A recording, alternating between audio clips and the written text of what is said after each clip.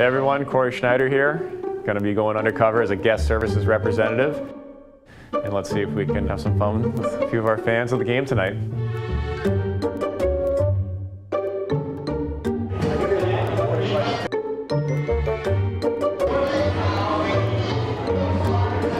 At least, my, at least my boss didn't recognize me.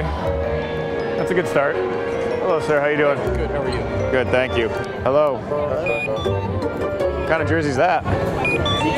Oh, he's a new guy, right? Yeah. Excellent. Excuse me, guys. They're having us as the rink staff handing out some stuff from the players for opening night of the preseason. So, hope you guys enjoy that. Thank you. You got it. I think that's uh, the guy you're wearing. So, I think that's who they told me it was. You guys find everything okay? You guys in your seats? You're all set? Okay, great.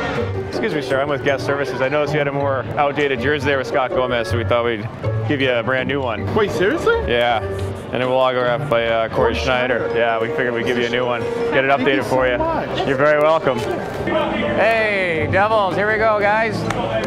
You Guys see me every night at home games for four seasons. They recognize me. Ah, here we go, Red. Here we go. Yeah, here we go. Oh, I got one. All right. All right. Excuse me, young man. Do you have a ticket for this seat? Are you in the right place?